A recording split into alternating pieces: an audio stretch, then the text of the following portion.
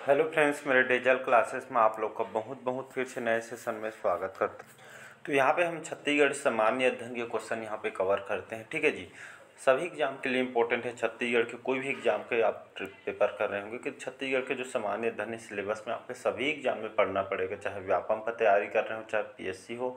PSC में pre हो गया, चाहे मेन्स की तैयारी कर रहे हो, छत्तीसगढ़ में आप कोई भी एग्ज़ाम के पुलिस वगैरह हॉस्टल वार्डन प्रयोगशाला वगैरह शिक्षाकर्मी भर्ती हो, सब एग्ज़ाम में आपको जो है सामान्य धन छत्तीसगढ़ का आपको पढ़ना पड़ेगा, ठीक है सिलेबस आप दिखे, देख लिए होंगे। आई थिंक कोई भी एग्ज़ाम का आप प्रिपरेशन कर रहे हैं तो सिलेबस बहुत इंपॉर्टेंट फैक्टर है, ठीक है जी।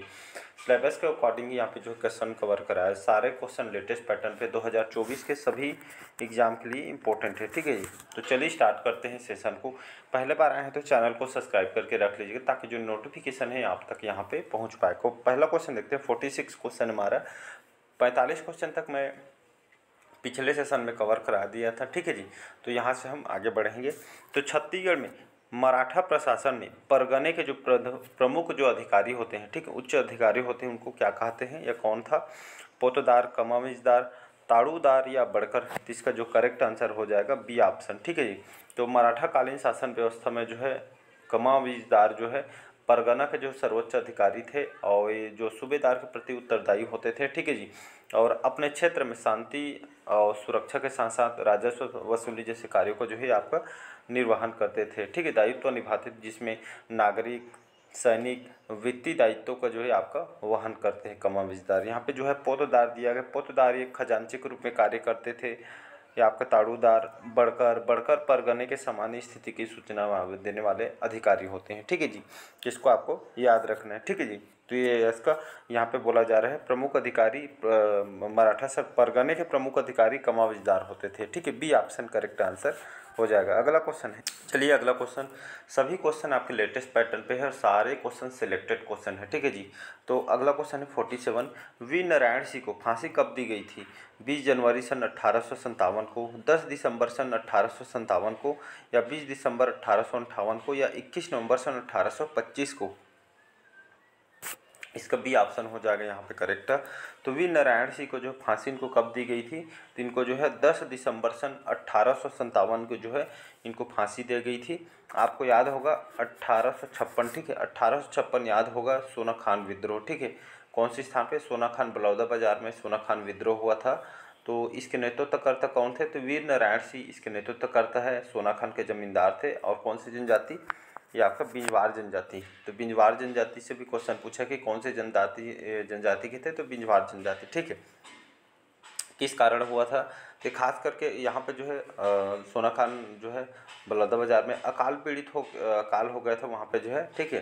पीड़ितों को जो है अनाज उपलब्ध कराने के लिए वी नारायण सिंह कसडोल के व्यापारी थे जिनका नाम था माखन लाल ठीक है। इनके गोदाम से अनाज लूट कर जनता में जो है बांट दिया गया था। ठीक, फिर ये जो है, यहाँ पे जो है, इनको जो है नारायण सिंह को जो है संबलपुर में गिरफ़्तार कर, रायपुर में जब ने इसको बंद कर दिया, अनाज लूटने के आरोप में, ठीक है फिर कैप्टन स्मिथ उन्हें गिरफ़्तार करके इनको जो है, कर लिया था। फिर अगले दिन जो है, सत्ताईस अगस्त को यहाँ पे अट्ठारह को जेल से सुरंग बनाकर ये जो है, फरार हो गए। ठीक है जी, इसके बाद जो है दस दिसंबर अट्ठारह ये डेट याद रखना है आपको, वी नारायण सिंह को जो है रायपुर के जय स्तंभ चौक में चार्ल्स इलियट के जो है फैसले के अनुसार इनको फांसी दे दी गई थी। वी नारायण सिंह को इसी कारण इनको छत्तीसगढ़ के स्वतंत्रता संग्राम के सहित इनको जो है माने जाते हैं, कहलाते हैं। ठीक है जी, याद रखना है आपके व्यापम में, लाइब्रेरियन में, पीएससी में, पटवारी में, हर एग्ज़ाम में क्वेश्चन आज से पूछा गया है तो बहुत सभी क्वेश्चन सेलेक्टेड है। ठीक है जी, चलिए अगला क्वेश्चन देखते हैं।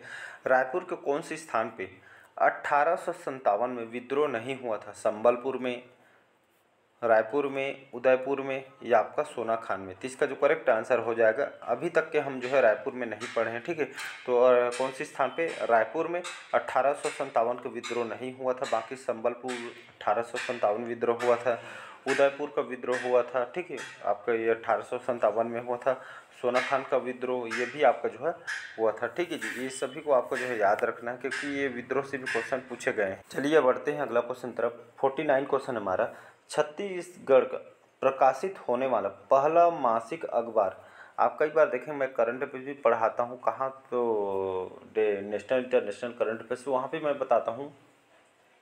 कि जहाँ पे पहला शब्द आता है तो वहाँ पे इम्पोर्टेंट हो जाता है। तो पहला शब्द अपने आप में इम्पोर्टेंट हो जाता है, इसलिए बहुत इंपॉर्टेंट हो जाता है। छत्तीसगढ़ का प्रकाशित होने वाला पहला मासिक अखबार जो मंथली जो समाचार पत्र जो प्रकाशित होता है, उसका पूछा जा रहा है। तो सन 1900 में कौन सा था जिसके संपादक माधव राव सपरे थे? हिंद केसरी छत्तीसगढ़ मित्र महाकौशल या उत्थान पत्रिका? तो इसका जो करेक्ट आंसर हो जाएगा, छत्तीसगढ़ मित्र। कौन से सन में हुआ था? उन्नीस सौ, ठीक है। छः आपका जो है, छत्तीसगढ़ मित्र का जो है प्रकाशन 1900 में हुआ था। माधव राव सप्रे, ठीक है जी? माधव राव सप्रे जो है और राम राम राम राव चिंचोलकर, ये जो है, ये दोनों जो है, इसके जो है संपादक हैं। और गौरेला पेंडर मरवाही ठीक है, यहाँ पे लिख देता हूँ। गौरेला पेंडर मरवाही से यहाँ से इसका जो है, पर, प्रकाशन यहाँ पे किया जा रहा था, ठीक है। तो माधव राव सप्रे और रामराव चिंचोलकर, ठीक है? तो इसको आपको याद रखना है। इसके बाद देखेंगे, ये सभी ऑप्शन में दिए हैं, वो भी इंपॉर्टेंट है, एग्ज़ाम में आए हुए हैं। हिंद केसरी, हिंद के हिंद के जो केसरी है, ये आपका इसका प्रकाशन 1908 में किया गया। ये आपका छत्तीसगढ़ मित्र 1900 फिर 1908 में ये आपका हिंद केसरी प्रकाशन किया। माधव राज सपरे नागपुर से इसका प्रकाशन किया जा रहा था। महाकौशल देखते हैं, ठीक है? महाकौशल भी इम्पोर्टेंट है।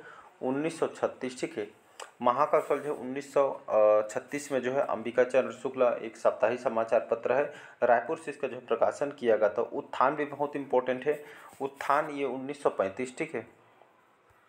उत्थान जो है 1935 में इसका प्रकाशन किया जा रहा है। कहाँ से? रायपुर विकास परिषद के द्वारा। किसके द्वारा? पंडित सुंदरलाल सरबा जी के द्वारा, ठीक है? चलिए नेक्स्ट क्वेश्चन देखते हैं। छत्तीसगढ़ का प्रकाशित होने वाला प्रथम दैनिक अखबार कौन सा है? हिंद केसरी, छत्तीसगढ़ मित्र, महाकौशल या उत्थान पत्रिका? तो अभी इसको बताया है, महाकौशल, ठीक है, महाकौशल इसका करेक्ट आंसर हो जाएगा 1936 में। ये छत्तीसगढ़ का प्रकाशित होने वाला प्रथम दैनिक अखबार था, ये आपका महाकौशल। 1936 में इसका जो है प्रकाशन किया जा रहा था, अंबिका चरण शुक्ला और ये आपका साप्ताहिक समाचार पत्र था और ये रायपुर से इसका प्रकाशन किया जा रहा था। बाकी इसको तो बता चुका हूँ सभी को। ठीक है जी, ये सभी को याद रखना है आपको। नेक्स्ट क्वेश्चन चलिए अगला क्वेश्चन देखते हैं। फिफ्टी वन क्वेश्चन है। बस्तर का स्वतंत्रता संग्राम या लिंगागिरी विद्रोह कब शुरू हुआ था? अठारह सौ छप्पन, अठारह सौ संतावन अठारह सौ अंठावन या अठारह सौ उनसठ में? तो बस्तर का स्वतंत्रता संग्राम या लिंगागिरी विद्रोह कब शुरू हुआ था? तो ये हुआ था अठारह में। ए ऑप्शन करेक्ट आंसर हो जाएगा। तो बस्तर का मुक्ति संग्राम भी इसको कहा जाता है। इसी को जो है लिंगग विद्रोह नाम से जानते हैं, ठीक है? तो सभी को याद होना चाहिए। अठारह में हुआ, हो रहा था। इसके शासक भैरम देव इसके शासक भैरम देव थे नेतृत्व करता ध्रुवाराम माड़िया। ध्रुवाराम माड़िया इसके नेतृत्व करता है। ये बस्तर को अंग्रेज़ी साम्राज्य में शामिल किए जाने के विरोध में जो है, इस उद्देश्य से लिंगागर विद्रोह हुआ था। ठीक है, धुरवाराम को जो है, इसका परिणाम क्या हुआ कि तो धुरवाराम फांसी, धुरवाराम जी को फांसी इनको दे दी गई। इनको जो है, बस्तर का दूसरा शहीद कहा जाता है। ठीक है, और साथ ही साथ लिंगागिर विद्रोह जो कि बस्तर का महान मुक्ति संग्राम ये आपका कहलाता है। ठीक है जी, आपको याद रखना है। अगला क्वेश्चन चलिए अगला क्वेश्चन देखते हैं। लिंगा के विद्रोह विद्रोह जो हुआ था, अभी बताया, लिंगा के विद्रोह अट्ठारह में हुआ है। इसके नेतृत्वकर्ता कौन थे? झाड़ा सिरहा, दलपत सिंह धुरवाराम माड़िया या गुंडाधुर? तो लिंगागिरी विद्रोह के, ठीक है जी? इसके नेतृत्वकर्ता ये आपका धुरवाराम माड़िया जी थे। सी ऑप्शन यहाँ पे करेक्ट आंसर हो जाएगा, ठीक है जी? अट्ठारह में हुआ था। इसी को बस्तर का मुक्ति संग्राम कहते हैं। भैरम देव इसके शासक हैं और नेतृत्वकर्ता धुरवाराम माड़िया जी हैं। इसका सी ऑप्शन करेक्ट आंसर हो जाएगा। सभी क्वेश्चन आपके जो है इंपॉर्टेंट है, सारे सिलेक्टेड क्वेश्चन हैं, आपके एग्ज़ाम के हिसाब से क्वेश्चन को तैयार किए गए हैं। अगला क्वेश्चन देखते हैं। चलिए अगला क्वेश्चन देखते हैं यहाँ पे। टाइगर पॉइंट ठीक है? टाइगर पॉइंट जो जलप्रपात है, ये आपके जो है राज्य के टाइगर पॉइंट जो है जलप्रपात है वाटरफॉल हमारे छत्तीसगढ़ के कौन से ज़िले में स्थित है? बस्तर में, कोरिया में, सरगुजा में या जसपुर में? तो इसका सी ऑप्शन करेक्ट आंसर हो जाएगा। तो टाइगर पॉइंट जो जलप्रपात है, ये आपके कहाँ पे है? ये आपका सरगुजा ज़िले में स्थित है, ठीक है? यहाँ पे जो है, कौन से नदी पे बना हुआ है? तो मान नदी पे आपका बना हुआ है, ठीक है? यहाँ पे लिख देता हूँ एम लिख दिया हूँ। तो यहाँ पे मान नदी पे आपका बना हुआ है, ठीक है जी? और ये आपका जो है मैंड पार्ट में आपका स्थित है, ठीक है? सरपंजा जलप्रपात आपका बना हुआ है, ठीक है जी? टाइगर पॉइंट जलप्रपात मैंड पार्ट में है। और साथ ही साथ इको पॉइंट फ़िश पॉइंट सेदम प्रपात वे वगैरह जो है, सभी जो वाटरफॉल है आपका ये बहुत ही अच्छी जगह है घूमने के लिए सरगुजा जिला मैनपाट वगैरह यहाँ पे आप जा सकते हैं। इसको याद रखें, कोरिया में जो है अमृत धारा जलप्रपात है, जो हसदेव नदी पे बना हुआ है, ठीक है अकुरी नारा जलप्रपात, ये सभी जो है कोरिया जिला में है, ठीक है, आपके जो है एग्ज़ाम में ये क्वेश्चन पूछे गए। चलिए अगला क्वेश्चन देखते हैं, कौन सा जो पर्यटन स्थल है संत कौन सा जो पर्यटन स्थल जो है, संत वल्लभाचार्य का जन्म स्थान माना जाता है राजिम को, सिरपुर को, चंपारण को या सिहावा को। इसका जो करेक्ट आंसर हो जाएगा, चंपारण। ये जो है रायपुर जिला के अंतर्गत आती है चंपारण। तो यहाँ पे जो पर्यटन स्थल है चंपारण, ठीक है, संत वल्लभाचार्य का इनको जो जन्म स्थल ही माना जाता है।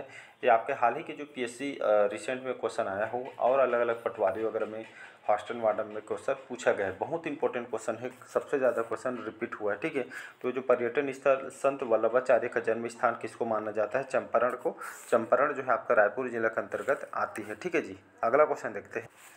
चलिए अगला क्वेश्चन देखते हैं। इस राज्य में निम्नलिखित में से कौन से स्थान में अट्ठारह में अंग्रेज़ों के विरुद्ध विद्रोह की घटना घटित हुई थी? न रायपुर में, बिलासपुर में, संबलपुर में या सोना खान में? इसका डी ऑप्शन यहाँ पे करेक्ट आंसर हो जाएगा। तो सोना खान विद्रोह के बारे में स्टार्टिंग में बता दिया था। अठारह सौ संतावन छप्पन संतावन में हुआ था। ठीक है, किस कारण हुआ था इसको मैं मेंशन कर दिया था। तो इसका डी ऑप्शन यहाँ पे करेक्ट आंसर हो जाएगा। अगला क्वेश्चन देखते हैं। चलिए अगला क्वेश्चन देखते हैं यहाँ पे। इस राज्य के निम्नलिखित में से कौन से जो नेता जो है मध्य प्रदेश के प्रथम मुख्यमंत्री रहे थे? ठीक है ये राघवेंद्र राव जी, द्वारका प्रसाद मिश्र जी, पंडित रविशंकर शुक्ल जी या खूबचंद बघेल जी? इसका जो है पंडित रविशंकर शुक्ल जी इसका करेक्ट आंसर हो जाएगा। ठीक है, ये जो है ये ऐसा नेता थे जो मध्य प्रदेश के जो है मुख्य प्रथम मुख्यमंत्री इनको बनाया गया था। ठीक है बहुत सारे क्वेश्चन इनसे पूछा जाता है। 1912 में ठीक है 1912 में जो है इनको उपज सभा की स्थापना किया था। 1921 में राष्ट्रीय विद्यालय की इन्होंने स्थापना किया गया था। ठीक है जो है इनका जन्म जागर आ, सागर सॉरी जागर बोलता हूँ सागर एमपी में इनका जो है जन्म हुआ था। ठीक है जी और इन्होंने रायपुर में जिला परिषद के इनको जो है अध्यक्ष बनाया था 1923 में। ठीक है जी और इनको जो है यहाँ पे जो है 1946 में जो है सीपी और बरार प्रांत के मुख्यमंत्री बने थे। इससे पहले आपका शिक्षा मंत्री थे। यही क्वेश्चन आपसे हाल ही के पीएससी पूछा गया था। मुख्यमंत्री पहले कौन से पद पे थे? तो ऐसे आपका जो है शिक्षा मंत्री रहे थे, ठीक है? सीपी और बरार प्रांत में खरी मंत्रिमंडल में शिक्षा मंत्री रहे थे। इसको याद रखना है। और रायपुर के, रायपुर से महाकौशल जो दैनिक पत्रिका इसका जो प्रकाशन जो है, उन्होंने यहाँ पे किया था 1951 में, ठीक है? और 1940 में छत्तीसगढ़ के प्रथम व्यक्तिगत सत्याग्रही बनने का श्रेय इनको जो है प्राप्त है। याद रखिएगा, अगला क्वेश्चन देखते हैं।